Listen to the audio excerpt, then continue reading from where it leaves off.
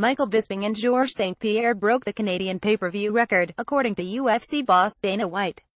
UFC 217 was an incredible night of action with three champions losing their titles at Madison Square Garden in New York, including British fighter Bisping. The return of GSP after a four-year absence seems to have provided a massive revenue boost for the UFC, who have experienced an otherwise disappointing year in terms of PPV numbers. Conor McGregor's boxing match with Floyd Mayweather did excellent numbers and White revealed he believes UFC 217 managed to break the Canadian PPV record set in August. I told some of you guys this yesterday, White said at the post-fight press conference.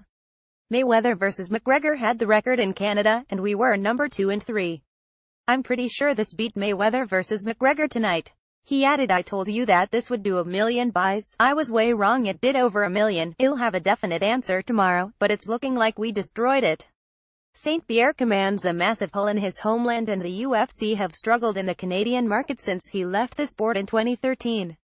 But, the 36-year-olds made a victorious return at UFC 217 by choking out Bisping during their middleweight title clash. Bisping has dismissed talk of possible retirement and seems to be targeting a return to action in March in London. White expects GSP to defend the 185-pound title against interim champion Robert Whittaker with suggestions it may be in Perth or in Montreal. More Michael Bisping brushes off retirement talk and targets UFC London fight slot More UFC 217 Rose Namajunas and TJ Dillashaw claim world titles with stunning stoppages.